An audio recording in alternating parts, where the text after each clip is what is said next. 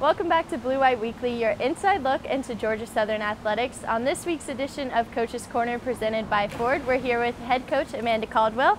Welcome in, coach. How are you doing? Nice to see you again. Just to get started, you had four athletes swim at the Open Water Championships in Kansas this past weekend. What was that experience like for you and for your for those four athletes? Yes, ma'am. It was an experience. Uh, we kind of went in with no expectations. It was our first time doing it.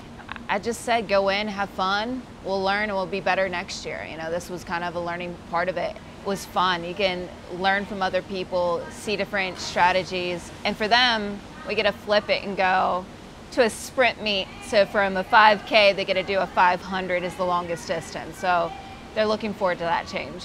For your next race coming up, you're heading to North Florida.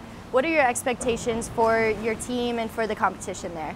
I've put a lot of expectation going back to the spring on this first meet. We usually don't compete until October, so we're about a week early in competing. And I said we got to be ready to race, and not everyone's going, and it's not a bad thing.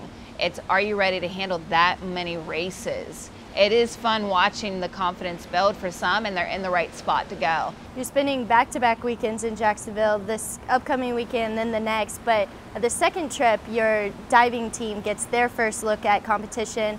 How excited are you for them to get started, but also with their new coach, Debbie Clevenger?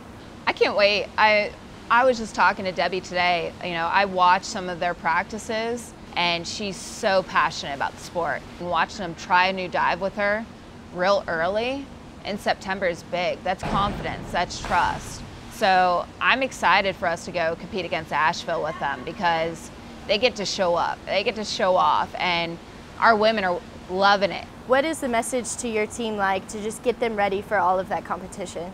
Our word and theme this year is elevate. And so, with everything we do, how can we take it to the next level? How can we elevate a teammate who's struggling during a competition? How can we elevate what we did in this competition to be better in the next? And we're just going to learn from each one and just keep building that energy to get us into conference. Everything we do right now is a learning opportunity to be the best that we can be at the end of the season. Well, that is so exciting, and we are looking forward to following you guys right here from Statesboro. Best of luck, Coach. Thank you. Again, that was head coach Amanda Caldwell with swimming and diving here at Georgia Southern. We'll be right back with more Blue White Weekly after this.